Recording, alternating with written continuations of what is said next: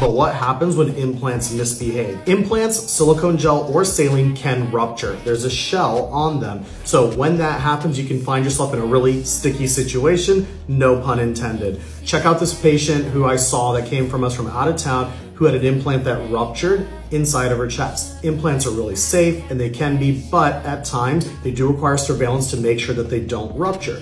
If and when that happens, you need to have a surgical procedure to clean out the pocket, which is basically a little protective layer that occurs over a ruptured implant, and then do an implant exchange. Stay tuned for more durability tests on our channel.